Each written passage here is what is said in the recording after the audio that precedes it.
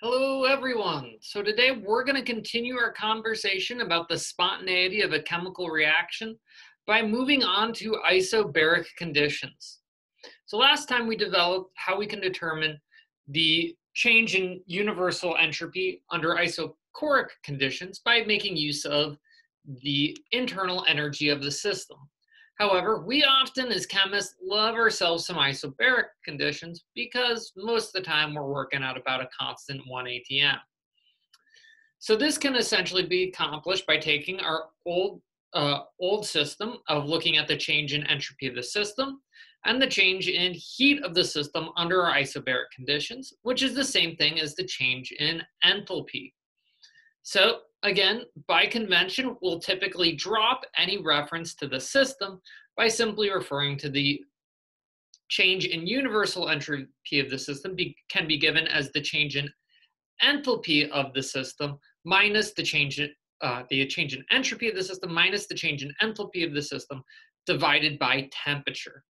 So in order to uh, determine the spontaneity of a system, it's often a little bit, again, messy to use the uh, change in universal entropy.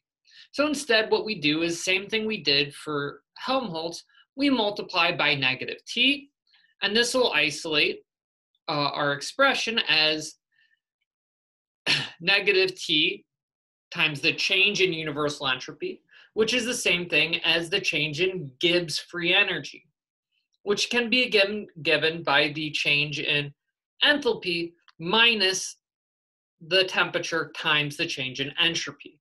So again, a much, a very similar expression to what we derived for Helmholtz.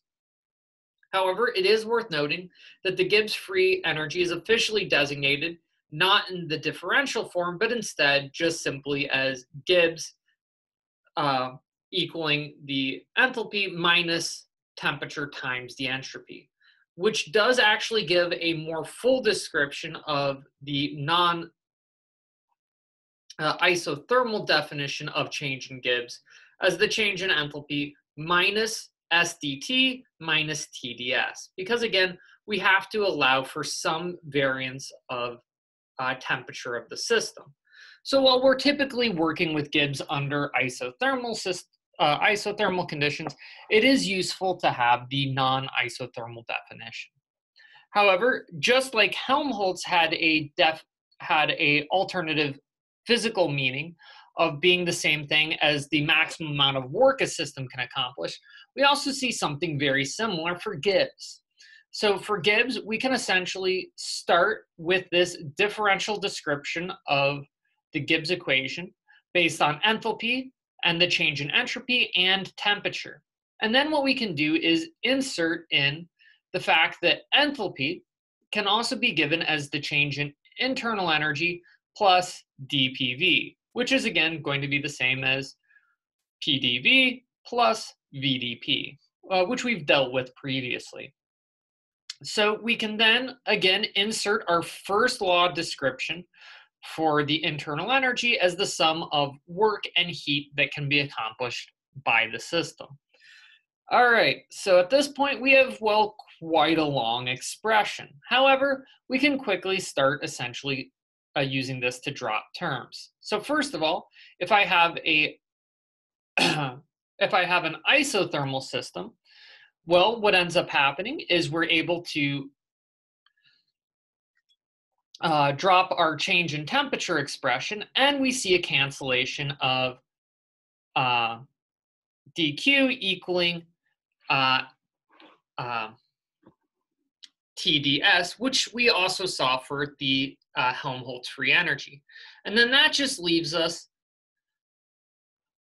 our description of the Gibbs uh, free energy being equivalent to the maximum amount of work the system can accomplish plus PDV. So again, we can use a lot of the same approximations we used for Helmholtz uh, to get us down to this simpler description, which again gives us more or less our Helmholtz description plus this DPV expression.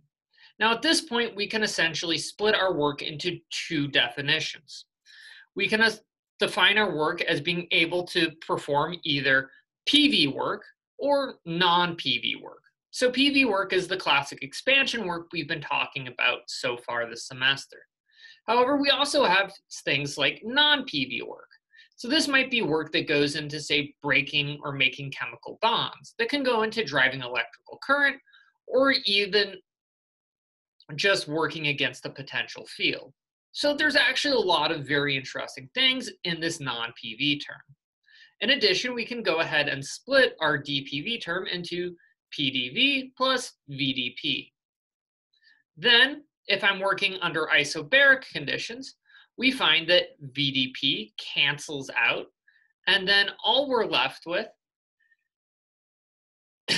is this DW plus PDV plus the non-PV work. Well, turns out we can also give our PV work expression as negative PDV. Uh-oh, negative PDV, positive PDV. Well, these two are going to end up canceling out, which means that we can, through all of these long simplifications, refer to our change in Gibbs free energy as pretty much the maximum amount of non-PV work the system can accomplish. Now, as chemists, this is actually a very nice definition because we often don't care about how much energy goes into PV expansions. We care about what's the maximum amount of energy I might be able to use to, say, drive a chemical reaction or drive a current that can be used for electrolysis or in another electrochemical energy generation technique. We don't often care as much about pistons, so instead what we care about is how much work I can use to drive chemical reactions. And for that, what we really want is our Gibbs free energy and not the Helmholtz, which is one of the reasons why a lot of our discussions from here on are really going to focus in on this Gibbs idea, as it's going to be much more the usable work that can be used for chemical reactions. Now, in order to say try and determine our Gibbs uh, Gibbs energies, it's worth noting that because our Gibbs energy depends on our enthalpy, we often can't end up we often can't describe our true Gibbs energy of a system, just like we can't describe our true enthalpy of a system. Instead, we're often going to define our Gibbs uh, energy for a system based on the Gibbs of formation. So very much similar to what we did for enthalpy of formation.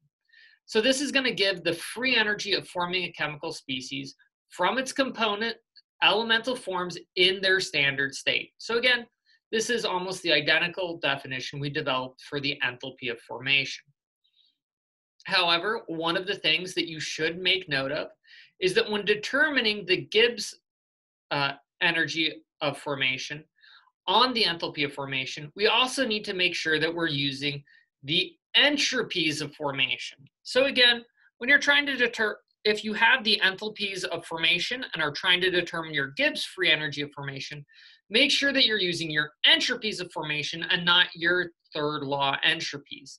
This can be a very important difference to make. Now, another alternative is you might be able to look up the Gibbs formation of an independent chemical species in, say, a nice table like the CRC. So using these values you look up, you can determine your uh, Gibbs free energies of reaction simply by essentially doing products minus reactants because we love state functions and our ability to just determine any change based on products and reactants.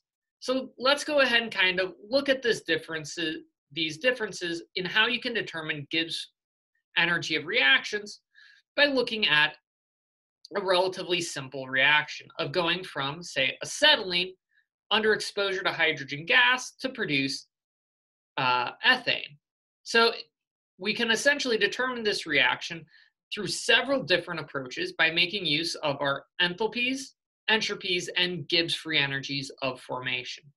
So one of the simplest ways we can go about this is simply using our Gibbs free energy of formation and going about products minus reactants.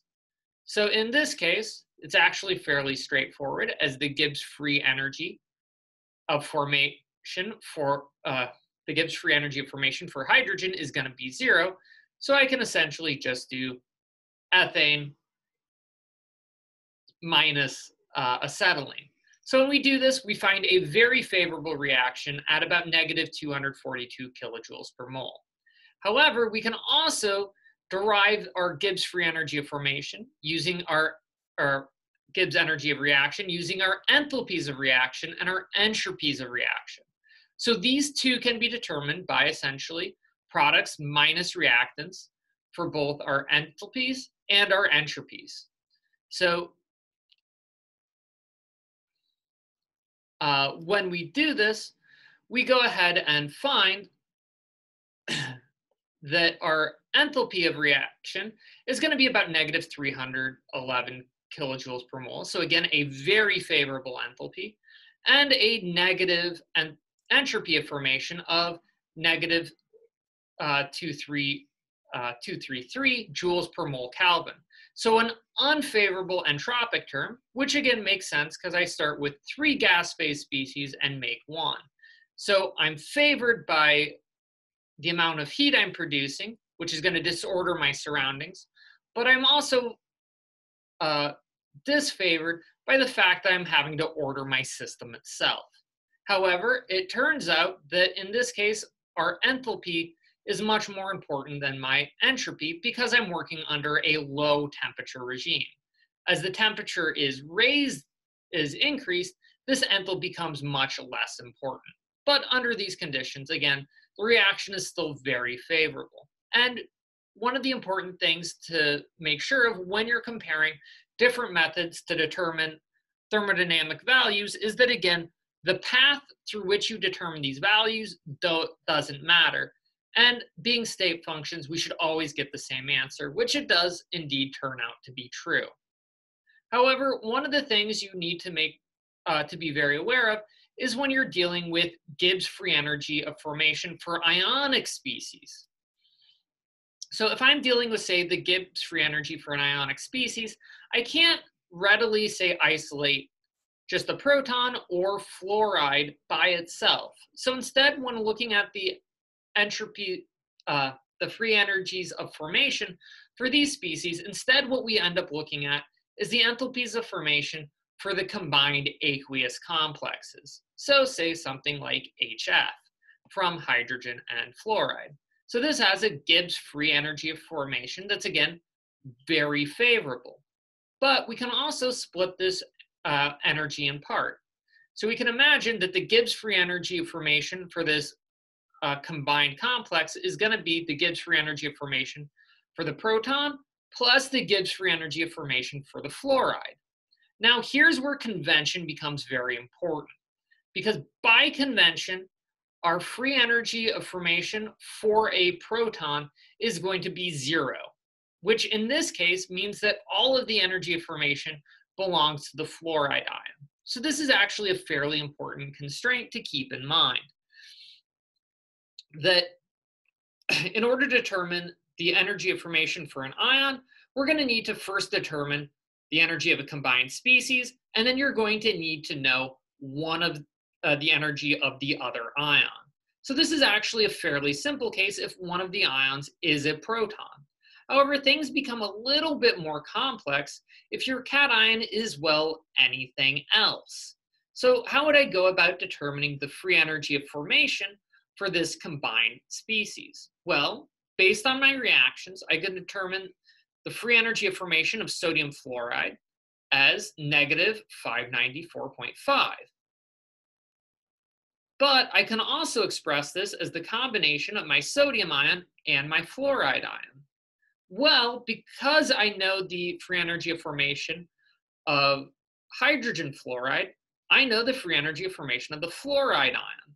So you can essentially use this combining of ions to determine the free energy of formation for any other cation besides hydrogen. So in this case, it's really going to be the energy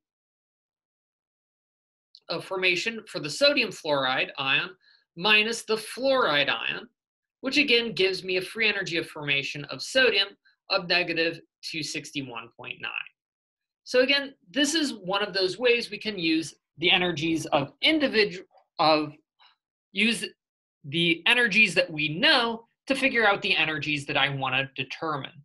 So if you don't have a value, um, a thermodynamic value that you directly want, a good alternative is to figure out what values can I combine together to get the new value I actually care about.